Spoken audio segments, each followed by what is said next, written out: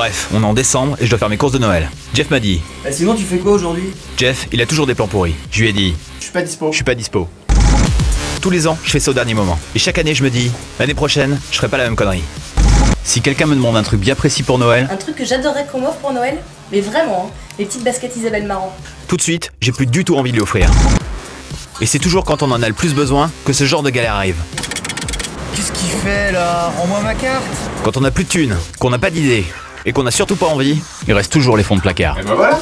À un moment donné, quand tu vas chez quelqu'un, tu regardes tous les détails. Et dès qu'il y a un truc possible, tu sautes sur l'occasion. Tu sais que t'es le seul pour qui j'ai trouvé un cadeau de Noël, Tony? Ouais? Ouais. Cool.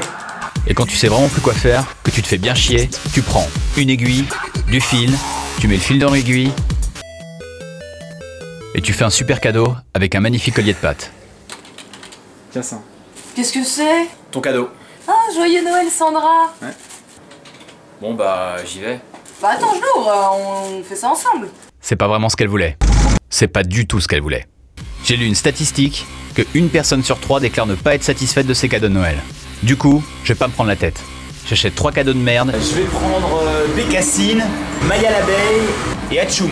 et sur les trois, j'aurais forcément fait le bon choix. Et quand je me décide à y aller, c'est toujours exceptionnellement fermé. Résultat, je suis tout seul, j'ai froid et j'ai perdu toute mon après-midi. Pour une fois, j'ai pas eu de doute. Je le voulais, j'y suis allé, je l'ai acheté. C'est bien, c'est pour qui ce cadeau? Ça C'est pour moi. Pour Jeff, c'est facile. Tous les ans, c'est un poisson et il est content. Et comme chaque année, je tente de me débarrasser des trucs inutiles. Vous prenez toujours pas les chèques cadeaux?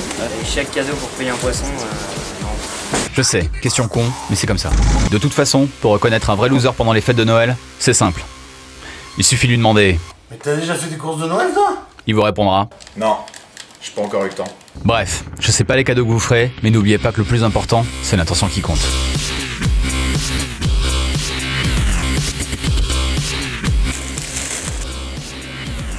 C'est quoi ce truc? Un collier de pâtes? Super le Noël.